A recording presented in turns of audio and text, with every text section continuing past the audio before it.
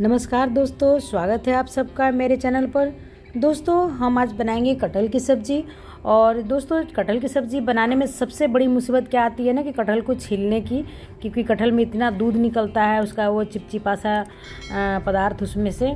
और उसकी वजह से ना हमें कटहल बनाने की भी इच्छा नहीं होती है। तो मैं उसका बहुत ही आसान तरीका मैं बताऊँगी आपको। आ, सरल तरीका जिससे कि कटहल बहुत ही आसानी से छिल भी जाएगा और हमारे हाथ भी गंदे नहीं होंगे। तो वीडियो को देखिएगा पूरा और जिस प्रकार मैं बनाती हूँ, वो तरीका मैंने शेयर किया है। तो बहुत ही आसान तरीका है छीलने का सबसे कठिन जो इसका पार्ट होता है, कटहल की सब्ज़ी बनाने की। तो देखिए किस तरह से बनाती हूँ मैं। तो ये ना कटहल को लेंगे, पहले मैंने इसे इस तरह से पहले ही धो लिया है, अच्छे से पहले। और इसे हम क्या करेंगे ना कि एक कट लगा देंगे बीच से। अगर थोड़ा बड़ा कटहल है तो आप इसमें चार कट मतलब दो कट लगा दीजिए। मैं केवल एक कट लगा रही हूँ और कुकर में ना इसे डायरेक्ट इस तरह से डाल देंगे और इसमें पानी डाला है मैंने। और इसे अब हम क्या करेंगे ना कि ढक्कन लगा करके इसे हम दो विसिल या फिर तीन विसिल आने तक इसे हम आ, कुकर में इसको कुक कर लेंगे। और तब तक इधर तैयारी करते हैं। जब तक से हमारा कटहल जो उबल रहा है तो मैं दो टमाटर ली हूँ। मसाले का तो मतलब तैयारी कर लेते हैं। तो ये दो मैं टमाटर ली हूँ, पके हुए, और इसमें मैं मिक्सी जार में डाल रही हूँ, और इसमें डाल रही हूँ मैं एक इंच टुकड़ा अदरक का, और छः सात कलिया जो है लहसुन की मैं छील करके रखी हुई हूँ ये। और अब हम क्या करेंगे, इसे पीस लेंगे, ब्लेंड कर लेंगे।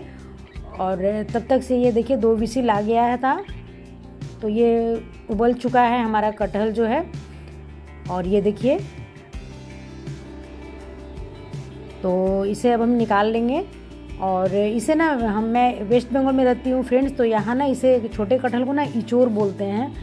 कटहल जब बड़ा हो जाता है तब इसे बोलते हैं। छोटा जब रहता है तो इसे इचोर बोलते हैं। आप लोग क्या बोलते हैं बताइएगा ज़रूर। तो ये ना मैं निकाल ली हूँ इसको। और थोड़ा ठंडा जब हो जाए ना तब इसे हम छील लेंगे। तो देखिए कितने आसानी से ये कट जा रहा है अब। और बिल्कुल भी हाथों में मतलब आपको चिपकेगा नहीं, दूध वगैरह नहीं लगेगा। तो ये देखिए नाखून से आप इस तरह से करेंगे ना, हल्का सा प्रेस करेंगे ना तो ये बस ऊपर का जो छिलका है पूरा अच्छे से उतर जाएगा, बहुत ही आसानी से। और होता है ना कि एक पंथ दो काज मतलब एक साथ में आपका कटहल भी उबल गया और आपका ये जो छिलने का जो है प्रोसेस भी बहुत ही आसानी से मतलब ये हम इसको छील लेंगे, पील कर लेंगे। और कटहल जो है कच्चा जब छीलते हैं तो छीलने के बाद फिर उबालते हैं, फिर बनाते हैं। तो इसमें क्या होगा कि आपका समय भी बहुत कम लगेगा, समय की बचत होगी। तो इस तरह से हम क्या करेंगे कि छील लेंगे। और अगर आप इस तरह से नाखून से नहीं छीलना चाहते हैं तो इसे आप काट करके भी छील सकते हैं। ये देखिए मैं दिखाती हूँ। तो इसे आप इस तरह से लें और देखिए कितने आसानी से ये कट जा रहा है। और आप इस तरह से इसे छील लेंगे। ये देखिए कितने आसानी से ये छील जा रहा है। और बिल्कुल भी हाथ में, हाथ भी गंदे नहीं होंगे, दूध वगैरह नहीं लगेगा। और बहुत ही ये फटाफट से ये मतलब काम होता है। आप इधर कुकर में चढ़ा दें उबलने के लिए इस तरह से ले करके कटहल को और इधर आप तब तक मसाला वगैरह की तैयारी करेंगे, तब तक से उबल जाएगा। और ये देखिए, मैं इसको काट ली हूँ। अपने साइज़ में आप इसे काट लीजिए। तो ये मैं अब कढ़ाई में तेल डाल रही हूँ। सरसों के तेल में बनाएँगे फ्रेंड्स। तो तेल जब गर्म हो जाएगा तो हम कटे हुए जो है कटहल को डाल देंगे। और इसमें डाल करके इसे हम थोड़ी देर के लिए इसे भून लेंगे। तो ये देखिए, मैं भून ले रही हूँ।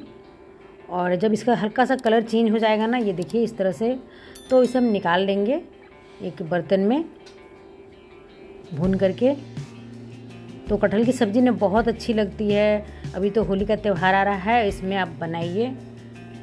और इसमें मैं अगेन तेल डाल रही हूँ सरसों का। और इसमें हम डालेंगे जीरा और एक दालचीनी। एक मैंने सूखी लाल मिर्च डाला है और एक जो है इलायची डाला है मैंने। और इसमें प्याज कटे हुए डाल देंगे। तो ये मैं दो बड़े आकार की प्याज जो है काट करके रखी हुई हूँ इसे मैं डाल रही हूँ इसमें और इसे हम भून लेंगे। तो थोड़ी देर भूनेंगे जब तक इस, इसका कलर जो है थोड़ा चेंज ना हो जाए। ये देखिए। तो अब हम क्या करेंगे ना कि इसमें टमाटर जो हमने पीस के रखा है ना, लहसुन और टमाटर और अदरक का पेस्ट जो है, उसे डाल देंगे और ये थोड़ा सा मैं रिंस करके भी डाल दे रही हूँ जार को और इसे भून लेंगे हम। थोड़ी देर इसे भूनेंगे और टमाटर डाला है हमने तो इसमें नमक डालेंगे थोड़ा सा